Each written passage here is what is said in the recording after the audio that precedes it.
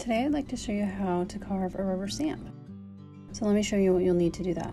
The first thing you'll need is carving rubber. There are lots to choose from. That first one I showed you is a soft rubber and it's really good for beginners. And the pink one is slightly firmer and a bit more challenging to carve through. Then this last one is actually my favorite and that's the one I'm going to use today. You'll also need an X-Acto knife, a pencil, carving tools, and the different blades to carve a burnishing block, tracing paper. The one that I have here has lines on it, and I actually prefer the one without lines, so if you pick this up, get it without the lines. And then a design. Now this one I used today was actually made from a leaf rubbing from my own tree in my backyard. So if you have your own design, you'll want to trace it, but this one I already did quite a while ago, so I'm just tracing over the design that I already did on my tracing paper. And then I'm putting it face down and holding it very firmly and using my little burnishing tool to transfer the design onto the rubber. I'm going to use my X-Acto knife to cut it out. And I always save my rubber pieces, unless they're very tiny, I always save the little pieces.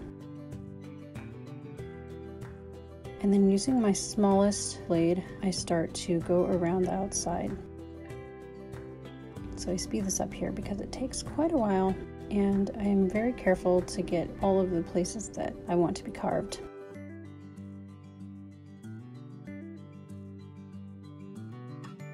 And you'll notice that I move the rubber and I'm moving my hand, but keeping my hand sort of firmly placed onto the table.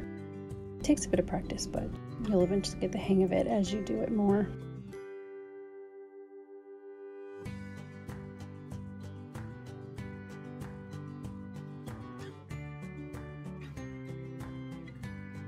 And then I switch to the medium sized blade and then just go around the outside and get all the edges carved out.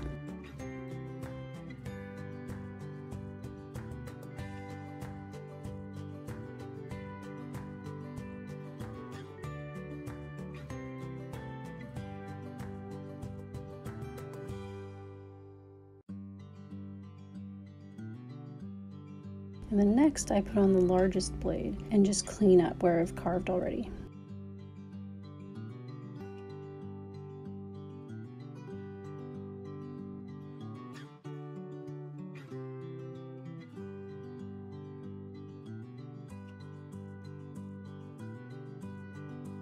And then once that's done, I use my X-Acto knife to cut around the stamp. And this part, I do two different ways. So first I was doing it on the table and then I pick it up and um, do it this way. This can be a little bit dangerous, but I've done it so many times that I just get a feel for it. So definitely be careful if you if you choose to carve it this close. And there's lots of ways to clean off your stamp after. This is totally optional but one of the easiest is just to use a pencil eraser.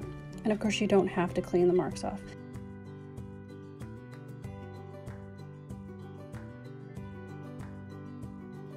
And now we're going to do a test print. I like to use that printmaking paper. And I'm using this VersaFine ink. I really like this one. And printing on my stamp.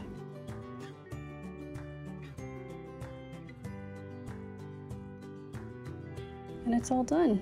Well, I hope that this was helpful. Definitely leave a question below if you have it. And thanks for watching.